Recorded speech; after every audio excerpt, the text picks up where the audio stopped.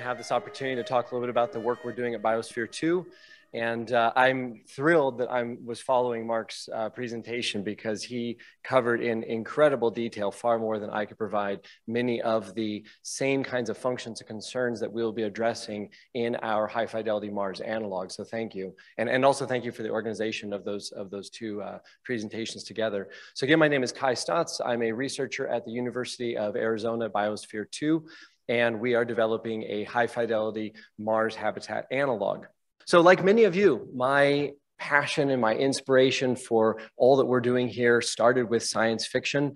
Uh, so Arthur C. Clarke's series, the Rendezvous with Rama series, uh, was very much a part of my childhood, my teenage years, and it's really interesting when you think about the complexity of the the envisioned spacecraft those interior spaces that were full cities um, as the astronauts boarded and discovered their functionality kind of reverse engineering what those things might do you know as they came to life again. If we look at what we want to do is we become an interplanetary and eventually interstellar species many of those things that were discussed in Arthur C. Clarke's books are, are very important to us at a, at a very uh, granular level, as, as Mark described. There's a lot of challenges, from medical challenges to psychological to even nutrition and uh, the simplicity or relative simplicity of air and water recycling.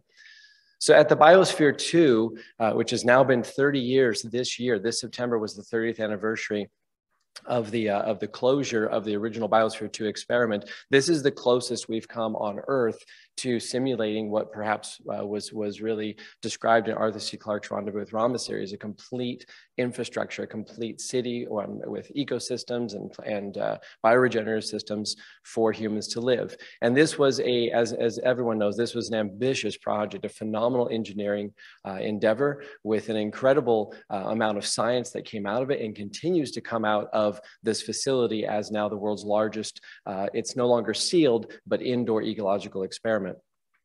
So it has, and, and for those of you who are coming this afternoon, uh, John Adams, the deputy director, and I look forward to giving you the, the, the behind the scenes tour and a lot of details, a lot of good stories about what was happening, what is happening now at the Biosphere 2. So there's a, a full saltwater ocean uh, with uh, a, we're now in the process, the team is now in the process of rebuilding the coral reef, which is really exciting and doing so with distinct species or unique species of coral that we believe will be doing better at the higher, the elevated temperature temperatures of water and the elevated CO2 levels, and actually working with real coral reefs uh, off the coast of Florida, if I remember correctly, Florida, Texas, I apologize. There's an, an, active, very diverse rainforest, which has over 100 new species of plants that were introduced uh, just in the last couple of years. And the desert biome, uh, which is always undergoing a lot of change, a lot of uh, uh perturbations in those systems.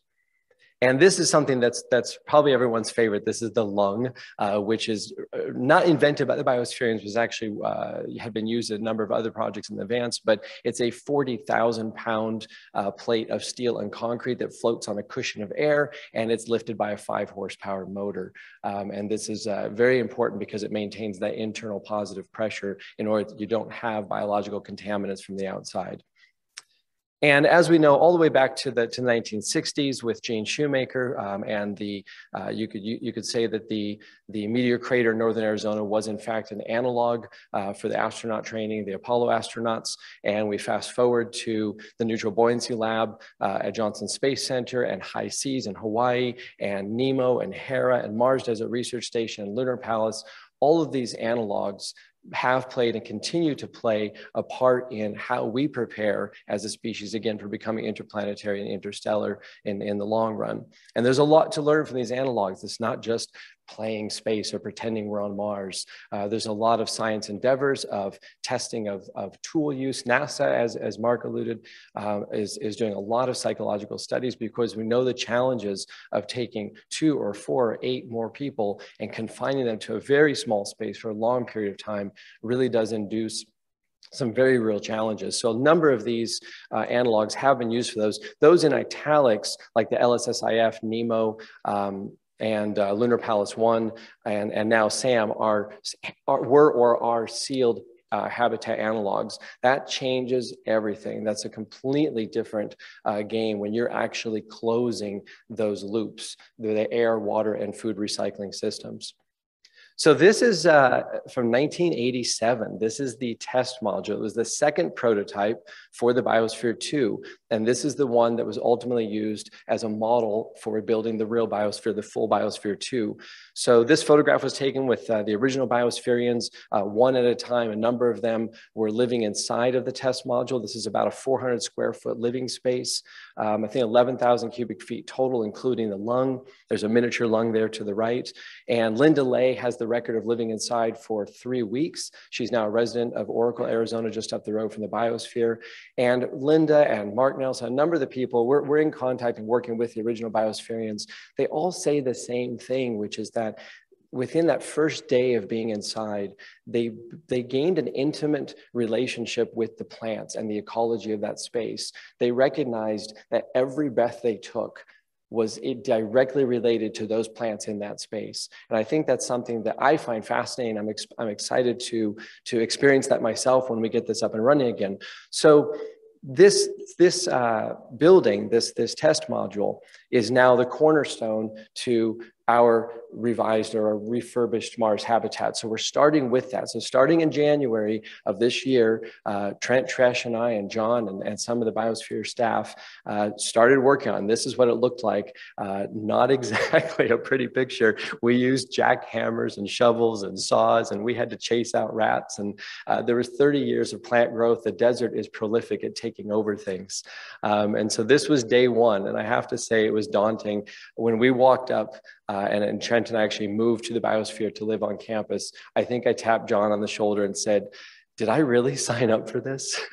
and so we labored uh, anywhere from 12 to 18 hours a day for six months straight, five to, five to six days a week um, at getting this particular building refurbished and operational again.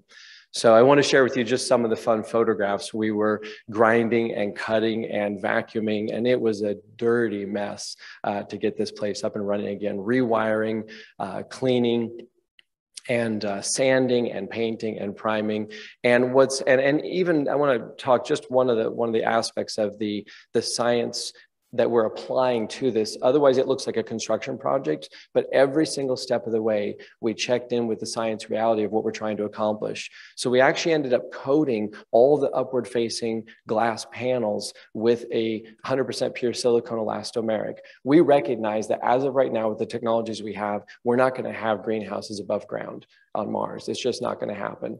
Um, and, and not only that, even if we did, there's probably not enough light. The ambient light fall on Mars is about 50% of a bright day on Earth.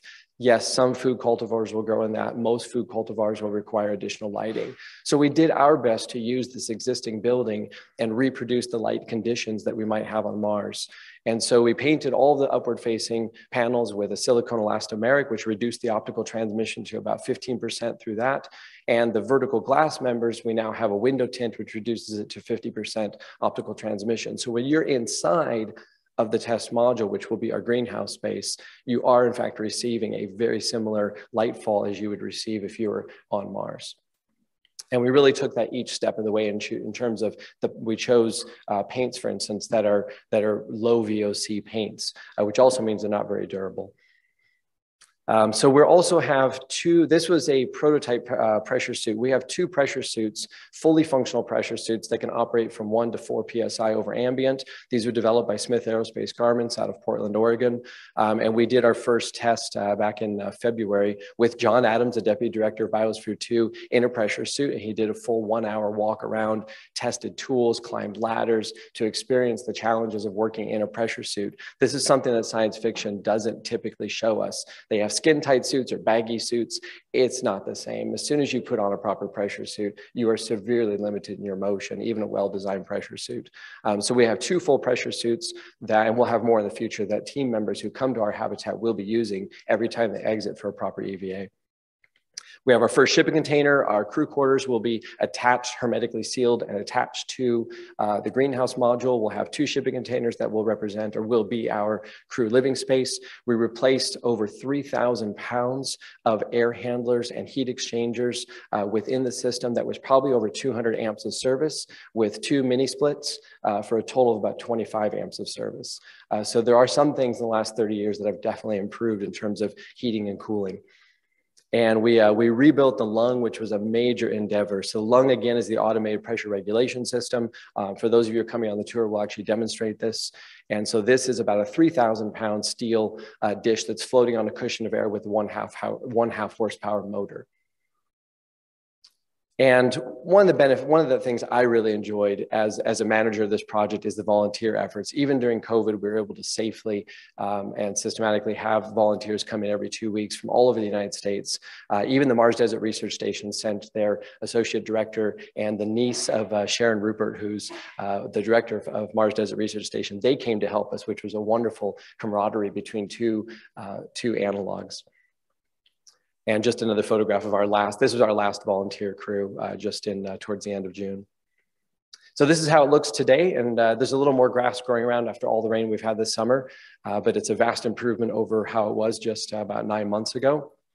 And then on the last, on the 29th of June, we conducted our first sealed test. We had five people inside for four hours with some basic plant and food cultivars. We had NASA approved Doritos and uh, we played a board game and uh, assembled a robotic farming uh, implement uh, for about four hours. And this is a kind of an area, I climbed up in the space frame and took this photograph. And uh, so this was a lot of fun. And during this very, this is the first time in 30 years this building had been sealed. And so we are very proud of our ability to get it up and running again. Of course, we had uh, three full sets of data monitors. We monitored CO2, oxygen, pressure, humidity, and temperature. And all this data and with the full analysis is on our website. So I won't go into the details here. Um, and this ties in, I just want to briefly mention this, this ties into a project called SIMOC, uh, which was originally funded by Arizona State University, and that's where I got my start uh, in this entire endeavor. Um, so SIMOC is a research grade computer model with an educational web interface. And it's a it's hosted by National Geographic at this time, funded by and hosted by National Geographic, is free for all of you to use, and that's simoc.space. That's S-I-M-O-C.space. It is a really, really amazing project, and we're currently in the process of integrating SIMOC into SAM and vice versa, such that we will have a live data feed from all the uh, data capturing devices at SAM, feeding directly into the interface of SIMOC, so everyone in the world can log in, either run a simulation or monitor the real-time data output of SAM. We're also going to be training a, uh, an artificial intelligence algorithm to ultimately be able to manage the entire life support system, including plant growth of SAM. So just a few closing, uh, closing images. Uh, these are artist rendering, and we have a new version of these coming out, a little more accurate to what we're doing today, artist rendering of the inside and the outside and uh, some of our preliminary um, concepts for the crew space. And the crew space, by the way, is, is really being guided. We have a number of people at NASA who are working with us, including Michelle Rucker and, and uh, Robert Howard, who are working with us to help guide that crew space design to be as close to what NASA would do as possible. Our Mars yard, there's a number of really exciting things we're gonna have in this project. Our Mars yard is over a half acre. We have an indoor space that's a 6,400 square feet that'll have a simulated and scaled uh, Martian crater, and outdoor space that we can reconfigure, basically bulldozer and tractors on an as-need basis for the visiting teams. We have a neutral, buoy neutral, buoyancy lab. We discovered in some of the old greenhouses a giant fish aquarium uh, with a plexiglass side. So we're re refurbishing the fish aquarium. It's large enough for three people in, uh, in uh, scuba outfits. So we'll actually be doing scuba training and taking our people in spacesuits underwater. It's small, it's a start, not much mobility, but we're hoping to then raise the funds for a proper NBL. We also have a gravity offset rig that's being co-designed by one of Hollywood's top stuntmen, a personal friend of mine. So we'll be able to simulate uh, various degrees of, uh, of gravity. And uh, the science objectives, quickly, the, the number one is the transition from physiochemical or machine-based to bioregenerative, meaning plant-based life support systems. will be the first analog in the world that I'm aware of to make that transition from an entirely mechanical life support system, air and water recycling, over to a hybrid between that and plants, which we believe will be a long-term solution for long duration stays off-world. Uh, trans, we're going to be working with regolith. Yes, we're going to induce perchlorates. Study of the microbiome, as Mark alluded to, is very, very important, especially in a space in which people are transi transition, transitioning on a regular basis. Use of pressure suits, and as I mentioned, the uh, computer model.